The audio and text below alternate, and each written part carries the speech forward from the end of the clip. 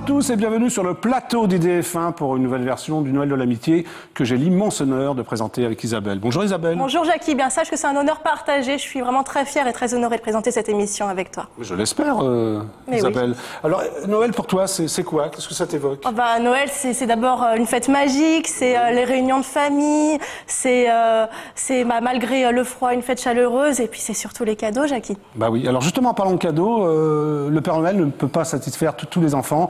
Alors nous, ici sur EDF1, avec le Noël de l'amitié, eh bien, on va l'aider à, à donner des cadeaux à tous les enfants qui en sont privés. Voilà. Voilà. Mais comment euh, après on va redistribuer les cadeaux, Jackie? Ah bah, C'est extrêmement simple, euh, Isabelle. On va faire appel à des associations partenaires. Ah bah oui, c'est vrai. On en a choisi deux. C'est vrai que c'était très difficile à choisir, mais on en a choisi deux. Euh, donc les Colis de la Vie et la Croix-Rouge française pour redistribuer les cadeaux. oui, plus d'autres associations caritatives. Oui. Hein, qui font un travail incroyable tout au long de l'année. Oui, hein. et que bah, j'aurai l'honneur de présenter chaque jour. C'est vrai qu'elles sont toutes différentes, mais elles ont un point en commun, en tout cas, c'est d'essayer de rendre le sourire à tous les enfants qui en ont besoin à travers travers le monde, parce que c'est vrai qu'il n'y a pas qu'en France où les enfants sont malheureux. Absolument, Isabelle. Alors tous les jours, on fera le point euh, jusqu'au 24 décembre sur EDF1 à 18h40. Voilà.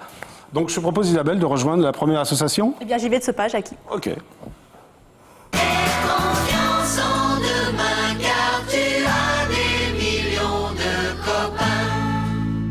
Alors, on va parler de l'association ELA maintenant avec euh, Guy Alba. Bonjour, vous êtes le président fondateur de l'association ELA. Oui. Alors, ELA, c'est quoi? Bah, ELA, c'est une association qui regroupe euh, des parents qui, comme moi, sont confrontés à la maladie souvent de leurs enfants, mais quelquefois d'adultes. Euh, une maladie terrible qu'on appelle la leucodystrophie, un nom barbare, qui cache une maladie encore plus difficile et cruelle, puisqu'elle détruit le cerveau, la moelle épinière des enfants comme des adultes concernés. Ce sont des maladies génétiques, ce sont des maladies encore incurable, même si la recherche a fait énormément de progrès.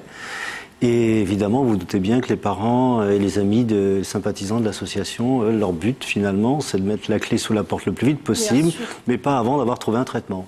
Alors euh, justement, ça avance euh, Alors oui, oui, bien sûr. L'association ELA existe depuis 19 ans. Donc euh, vous savez que ça fait 19 ans qu'on finance la recherche médicale. On a financé des centaines de programmes de recherche un peu partout dans le monde pour plus de 30 millions d'euros. ça porte ses fruits. D'abord, la connaissance même sur des maladies quand même compliquées. Le cerveau, c'est des maladies toujours compliquées. Le système nerveux, c'est pas simple. Et il y a à peine, il y a moins de deux ans maintenant, un premier traitement a été mis au point euh, c'est encore un traitement expérimental, mais c'est très compliqué. Il n'empêche que ces enfants qui ont été traités aujourd'hui sont stabilisés, alors qu'ils seraient sans doute décédés. Donc c'est un énorme espoir et un énorme progrès pour, euh, on va dire, tous les parents, toutes les familles concernées. Et le but de l'association, encore une fois, c'est de mettre la clé sous la porte le plus vite possible. C'est pas une entreprise comme les autres, mais avant, il va falloir qu'on trouve ce fichu traitement. Alors comment on décèle la leucodystrophie? Alors quelquefois on la décèle, la décèle pas du tout, c'est-à-dire que les enfants euh, naissent normalement, grandissent normalement, et puis du jour, au lendemain, on va dire, les premiers symptômes neurologiques apparaissent. Ça peut être euh, la perte de la vue, euh, la perte de la marche, euh, la perte de la parole, et puis crescendo, puisque toutes les fonctions vitales sont touchées. Donc évidemment, on s'en aperçoit assez rapidement hein, lorsque les symptômes apparaissent, mais il est déjà trop tard. Quelquefois, on peut déceler la maladie avant, lorsqu'on pose un diagnostic, même dans le ventre de la maman, lorsqu'elle est, enceinte, mais on le fait trop rarement. Donc souvent, le diagnostic est posé lorsque la maladie est déjà bien présente, et là, malheureusement, il n'y a plus rien à faire. Combien d'enfants sont touchés en France? Alors, on ne le sait pas exactement, euh, sans doute plusieurs milliers, mais guère plus, ce sont des maladies génétiques, et comme toutes les maladies génétiques, elles sont rares, mais euh, ça concerne quand même 3 à 6 naissances par semaine, rien qu'en France, donc c'est beaucoup, et c'est de toute façon beaucoup trop pour toutes les familles concernées. Bien sûr. Alors, euh, vous avez un petit bilan à faire de toutes ces années passées, puis notamment de l'année 2011 en ce qui concerne l'avancée. Déjà, vous m'avez dit que vous avez trouvé un traitement, enfin, encore expérimental. Oui, mais... oui, mais écoutez, le, bilan, c'est que d'abord, c'est un effort qui demande de l'endurance, parce qu'on ne peut pas s'imaginer une seconde de pouvoir régler un problème aussi grave en peu de temps. Donc il faut, il faut savoir, euh, bah, je dis être déterminé, mais vous pouvez penser que les parents le sont. Euh, donc en tout cas, moi, je le suis, et ça fait 19 ans que je le suis. Le bilan, c'est quand même qu'on progresse vraiment sur ces, ces, maladies, alors qu'on n'y connaissait rien lorsque j'ai démarré l'association là il y a 20 ans. Donc le bilan est ultra positif, et puis surtout, surtout, on est énormément présent aujourd'hui aux côtés des familles pour, on va dire, adoucir un peu le quotidien, euh, apporter un peu de confort, euh, ce qui n'était pas le cas avant. Euh, donc, le bilan, en tout cas, d'une association comme ELA est, est, est bon et je trouve que ce qu'il faut qu'on fasse maintenant, c'est être encore plus présent auprès des malades, auprès de leur famille, leur apporter, pourquoi pas, un peu de détente, des moments, des, des moments où on essaie de mettre un peu tout ça de côté, et puis bien sûr soutenir la recherche pour, encore une fois, trouver une solution. Bien sûr. Et euh, pour 2012 alors? Bah, 2012, j'ai envie de dire qu'on continue avec encore plus d'ambition. Euh, le budget de l'association est là est de 5 millions d'euros. Euh, je pense qu'on peut faire mieux et c'est ce qu'on va tenter de faire en 2012. On mobilise énormément les enfants des écoles. On a une opération qui s'appelle Mets tes baskets et bas la maladie euh, qui, qui vraiment rayonne un peu partout en France. Ça, ça mobilise 400 000 euh, gamins euh, qui prêtent leurs jambes à- aux enfants d'Ella qui n'ont plus malheureusement l'usage de ces jambes. Eh bien, l'année prochaine, on va mobiliser cette fois les parents dans leurs entreprises sous le même, avec la même intitulé, une opération Mets tes baskets mais adaptée à l'entreprise. Ça, c'est un projet nouveau et on est, je suis sûr que ça va euh, bien marcher. En espérant que l'association est là, connaisse une fin en tout cas. Ben, écoutez, euh, moi, je vous assure que le jour est le plus vite possible, lorsqu'on pourra s'arrêter, euh, on viendra ici fêter tout ça tous ensemble parce que ce sera une très très bonne nouvelle. Avec grand grand plaisir. Alors pour faire un appel aux dons, comment faut-il faire? Alors c'est simple, il faut faire le 3945 par exemple, ou alors euh, sur le site internet pour des dons en ligne, euh, ela-asso.com. Alors je crois également qu'il y a une date importante, le 28 janvier 2012. Alors il y en a plein de dates importantes, mais la première, La première. effectivement c'est le 28 janvier 2012. On a une opération euh, avec euh, la station de Montgenève euh, qui offre des forfaits à- pour toute une journée à tous les skieurs qui feront un don de 30 euros à ELA. C'est une belle opération partage entre une belle station et une belle association. Un autre message à livrer? Bien, je souhaite à tous et à tous de passer d'ex- d'excellentes fêtes de fin d'année avec une toute petite pensée pour ceux pour lesquels malheureusement ces fêtes seront un peu moins, un, peu moins roses, un peu moins agréables, un peu moins confortables. Je pense qu'on doit tous y penser. Euh, C'est le moment ou jamais avant, avant, ce- avant les fêtes de Noël pour avoir, euh, je dirais, un, peu d'attention aux autres, à ceux qui en ont le plus besoin, aux plus fragiles, quelles que soient d'ailleurs les causes, que ce soit maladie ou, euh, ou professionnelle ou sociale. Je pense que c'est vraiment bien qu'on se serre les coudes, surtout en période un peu plus difficile comme en ce moment. Merci beaucoup Guy. C'est moi. Merci. Puis euh, j'espère que le message sera entendu. Eh bien on retrouve tout de suite euh, Jackie avec un généreux donateur.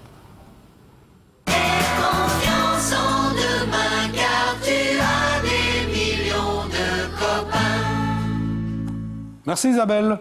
Donc je suis avec Frédéric C'est ça hein? C'est très juste. Hein, C'est juste. Cirque Pinder. Le cirque Pinder. Tu es donc le, le fils du patron, en Je gros. suis le fils du patron, je suis le comme toi. Qui s'appelle Edelstein comme moi. père. C'est mon père, je suis Ouais. le dresseur de faux Ouais. et aussi le dresseur d'éléphants euh, Ouais. avec mon ami Joy Gartner. Comment tu On dis pré- ça? Joy Gartner. On présente un numéro avec cinq éléphants asiatiques tout à fait exceptionnels. C'est quoi des éléphants asiatiques? Eh ben, c'est les plus gros de tous. Ils pèsent entre euh, 4 tonnes et 4 tonnes et demie. 4 tonnes? Exactement. C'est terrible ça. Et je suis entouré avec euh, 16 tigres, lions, lionnes et tigresses, tous les jours, seul face à eux dans la cage du cirque Pinder Jean Richard jusqu'au 8 janvier. Mais tu n'as peur de rien. Ben écoute, En tout je- cas, merci de venir au Noël de l'amitié, en tout cas. Merci à toi, Jackie, Très très plaisir. On se connaît depuis assez longtemps d'ailleurs. C'est clair. Hein C'est clair. Alors, fais-nous un petit historique du cirque Pinder. Eh bien, le cirque Pinder, c'est 156 ans de cirque. C'est mon père 156 qui, ans, mon oui. père qui a racheté Pinder Jean Richard en 83 et on est à la tête de ce prestigieux établissement Oui. euh, qui est le cirque dans tout le sens de ses expressions, le cirque traditionnel avec les animaux, avec les tigres, les lions, les trapézistes, les éléphants, la cavalerie, les animaux exotiques. C'est un vrai cirque traditionnel. Mais c'est un cirque itinérant. c'est un cirque itinérant. On parcourt euh, à peu près 180 à 190 villes sur une année en France. On se produit euh, de partout. Euh, on est à Paris jusqu'au 8 janvier, puis on redémarre la saison à Tours à partir du 25. euh, Alors pendant les fêtes, c'est tous les 2012. jours. Tous les jours, je Tous les jours, tous les jours des représentations, l'après-midi, le soir. Tu as les horaires, profite Ben, c'est alors c'est en règle générale c'est 14h ou 14h30 l'après-midi, mais en tapant sur internet Cirque Pinder, www.cirquepinder.com, vous avez tout. et, alors, c'est ton. Tu vas chez le boulanger comme Voilà, ça, acheter ton exactement. pain ou ben, ouais, comme ça. balades comme ça Voilà, exactement comme ça. Ça, on reconnaît un petit peu de partout. Ouais. c'est quoi comme tenue C'est la tenue du dresseur. Ouais, ah bon. Voilà. C'est la tenue officielle la, alors. c'est la tenue officielle, c'est avec ce costume que je présente les éléphants. Bon, ça fait combien de temps que tu, tu dresses Depuis tout petit, j'ai commencé, j'avais 5-6 ans. Oui. Et je me souviens, Jackie même être venu avec des petits tigres il y a, il y a fort longtemps. Il y a fort longtemps, oui, je me souviens. Avec Dorothée. Au club Dorothée. Exactement. Oui, absolument. exactement. ouais. Donc, et ben voilà, ça n'a pas changé. Les petits tigres ont grandi. Il y en a encore plus que d'habitude. Alors et toute la famille est dans le cirque? Toute la famille est dans le cirque. Ma sœur Sophie, vous la connaissez maintenant Elle beaucoup plus. Voilà, Hein elle est jurée d'une grande émission de télévision. sur M6 Sur M6, c'est juste. Tu peux citer l'émission, C'est- Voilà, dans, les- dans la France, c'est un incroyable talent. Oui. Et voilà, donc son frère Frédéric, eh bien lui, euh, c'est toi, participe tu parles de toi à la troisième personne. Voilà. Son frère Frédéric? Il, il- il est avec toi, Jackie, aujourd'hui pour Oui. offrir des places. Frédéric est avec moi Voilà. Donc tu offres combien de places pour Alors, le Noël de l'amitié? On offre 200 places pour le Noël de l'amitié, pour la Croix-Rouge et puis pour tous les gens euh, qui vont pouvoir en bénéficier. C'est super sympa. Enfin, C'est normal. Bon. C'est normal. Bah, Frédéric, euh, je te souhaite une bonne année. Hein. Merci Enfin, beaucoup, bonne fête Jackie. De fin d'année d'ailleurs, on va dire. C'est réciproque. Bonne fête de fin d'année à toi aussi, Jackie, à toute l'équipe et à vous tous. Et la prochaine fois, si tu veux venir avec un éléphant asiatique, ça pourrait être sympa. Eh ben, on va l'amener sur le plateau. passe là, sur le plateau là ou non Pourquoi pas Ouais. Ouais, on Mais t'as pas peur. T'as pas peur non, Non, non, mais ça fait longtemps que tu fais ça, remarque. Non, c'est ma force. C'est ta force. Ta force vient de là Voilà, c'est juste. Ok. Merci Frédéric. Merci à vous tous. Merci au Cirque Pinder. C'est moi. Ok. Et bah, à toi Isabelle.